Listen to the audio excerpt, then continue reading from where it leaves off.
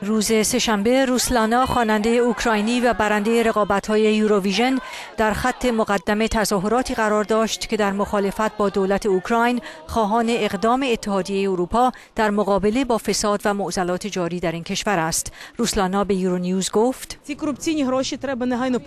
فساد مالی باید مورد تحقیق قرار گرفته و وجوه اخلاص شده مسدود شده و تحریم های لازم علیه آن مترتب شود.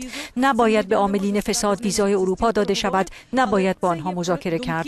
دو ماه است که نظر شهروندان اوکراین که زیر شکنجه قرار دارند نادیده گرفته شده است. قوانینی که در اوکراین برقرار شده معرف صفحه سیاه در تاریخ این کشور است. در قلب اروپا یک دیکتاتور نشسته است. یانوکوویچ. به دنبال نارامی های چند ماه اخیر در اوکراین گفته می شود پارلمان این کشور با دور زدن پیرامون مقررات لوایحی را تصویب کرده که به دولت اختیاراتی فزاینده می دهد.